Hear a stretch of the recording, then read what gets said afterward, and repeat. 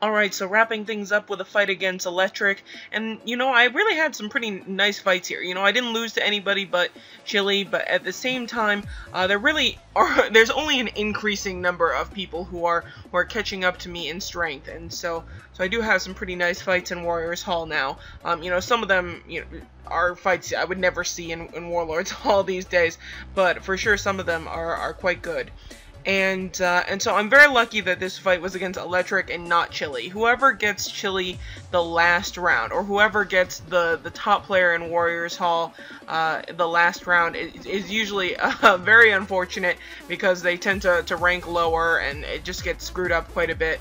But that's just sort of how the Warriors Hall uh, ranking system uh, works, and so there I ended up second, um, beating out Lord TH uh, in BR there, and of course Chili took first, undefeated. So nice job to him, and uh, and then Rira winning it, winning it all, and my buddy Shady getting his first. Uh, I think that's the first time he's gotten second. I feel like he's gotten third before, but I don't think uh, second was was in the mix before. So big congrats to all the winners, and uh, and thanks for watching, you guys. Take care and have a very good day.